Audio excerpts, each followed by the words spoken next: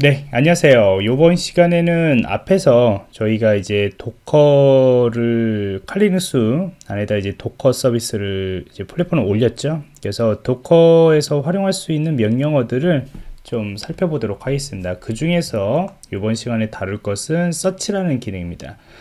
어, 앞에서 저희들이 저하고 같이 만약 여러분들이 Docker를 설치했다 그러면은 우선은 어, service docker start를 해 주셔가지고 Docker 서비스 daemon을 올려주시기 바라고요. 그 다음에 이제 이미지를 만약 서치를 할 때 전번 시간 같은 경우에는 공식적인 우리가 Docker Hub 쪽에서 search를 해가지고 명령어를 보고 그 다음에 그걸 가져왔습니다. 근데 항상 그렇게 하면은 이제 조금 비효율적일 수가 있겠죠? 그래서 이 Docker에서는 search라는 기능들을 가지고 있어요 그래서 search라고 명령을 하시면은 help까지 해주셔야겠네요. help까지 해주시면은 이제 Docker Hub 쪽에서 이미지를 search할 수 있는 명령어를 제공을 하게 되는 겁니다. 자 그러면 이거에 대해서 한번 좀 보도록 할게요. 필터라는 것은 이 각각에 대해서 이제 어, 상세하게 다루게 될 건데 어, 필터는 우리가 이제 원하는 이미지들만 이렇게 검색을 해서 골라낼 때 이 필터 기능들을 사용하게 될 것이고요. 그 다음에 limit 같은 경우에는 이제 우리가 검색을 하면 그 개수 있잖아요. 근데 개수가 너무나 많으면은 여러분들이 선택하기가 어렵죠. 그래서 그거를 기본적으로 어, 몇 개 정도를 max number를 정해주게 되는 겁니다. 그래서 Docker docker search 그 다음에 만약 우리가 WordPress 이, 그 Docker 이미지를 받고 싶다 그러면 이렇게만 여러분들이 검색하시면은 검색이 빠르게 됩니다. 검색이 빠르게 되죠. 근데 요건 이제 기본적으로 25개예요. 디폴트가 25개입니다. 그래서 현재 어, 25개인지는 몰라도 대충 25개 정도 나올 것 같습니다. WordPress는 워낙 이미지가 많을 거기 때문에요. 어, 그러면 이제 여기에서 스타 기준으로 예, stars라는 기준은 뭐냐면은 내가 많은 사람들이 좋아하는 거죠. 스타를 매기는 거죠. 자, 그렇게 하면 이거 보기가 불편하기 때문에 저희 다섯 개만 가져오도록 하겠습니다. 그래서 limit 다섯 개 해주고 WordPress로 이렇게 하시면은 이렇게 나와요. 자, 이거를 줄이시면은 네, 한눈에 보이기 위해서 제가 좀 줄였습니다. 그래서 화면을 줄이면 이게 이제 한 번에 나온 거죠. 한 번에 이렇게 나와야 보기가 좋겠죠. 그래서 다섯 개, 그 다음에 이제 stars 기준으로 이제 정렬이 됩니다. 정렬이 되는 것이고요. 어, 다섯 개를 보면은 2740개 정도 요것이 이제 제일 사람들한테 많이 선호하는 이미지들이고요.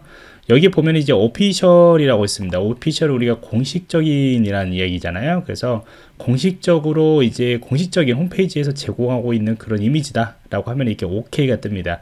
거의 대부분 official이 안 떠 있어요. Docker Hub들을 이렇게 확인해 보시면은 한두 개 정도 여기는 WordPress는 WordPress 쪽 공식적인 어떠한 뭐 사이트에서 자기들이 제공한다 그러면 이제 OK가 뜨겠죠.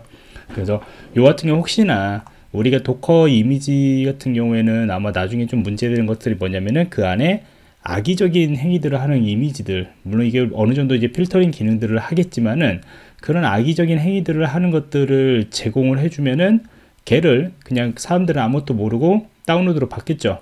그러면 다운로드 받아가지고 사용을 하면은 그게 backdoor 기능들이 있을 수 있고 여러 가지 기능들이 있을 수가 있습니다. 그래서 이 stars라는 것을 기준으로 여러분들이 많이 어, 기준으로 봐 보시면서 사용을 하시라고 권해드리고 싶고요. 특히 이제 official까지 뜨시면은 요거는 안전하게 사용할 수 있다.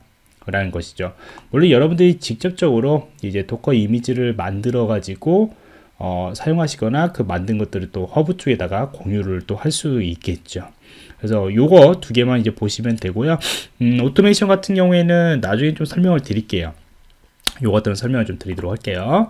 자, 그 다음에 이제 뭐 이렇게 어, limit라는 것만 사용하셔가지고 여러분들이 요거를 어, 네이밍 기준으로 해서 Docker 그 다음에 이제 pull 사용해서 가져오시면 되겠죠. 그건 전번 시간에 이야기를 했었고요. 그 다음에 이제 우리가 필터링 우리가 필터링 기능 중에서 한 개만 좀 사용해 보도록 하겠습니다. 어, 이 automate 같은 경우도 필터링 쪽에다가 이제 우리가 진행을 할 수 있습니다. 요거는 나중에 이제 Docker 쪽 pull 할 때 이게 뭐 이게 자동으로 자동으로 이것들이 동작하게 하는 뭐 그런 것들인데 좀 설명이 길어질 것 같고요 자 필터 기능 같은 경우에는 Docker search 그 다음에 내가 필터를 합니다 필터를 하게 되는 것이고 어, 보통 이제 stars를 많이 사용합니다. stars. stars를 만약 우리가, 음, 지금 현재 97개 정도 되니까 50개, 50개면 50개보다 더 많은 것을 필터링을 하겠다라는 그런 의미거든요. 그러면 조금 더 안전한 어떤 이미지, 사람들한테 좋은 호응을 가지고 있는 이미지만 내가 곤란하겠다. 이렇게 할 때 이제 필터라는 기능들을 사용하게 되는 것이고요. 이렇게 50개를 치면은 위에서 5개가 나온 것이 아니고 이제 두 개만 나오죠. 50개 넘는 것은 두 개밖에 없기 때문에요.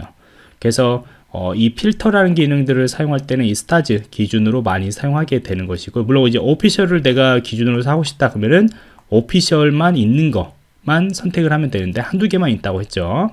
그리고 거의 다 대부분 상단에 있습니다. 공식적인 것들은요.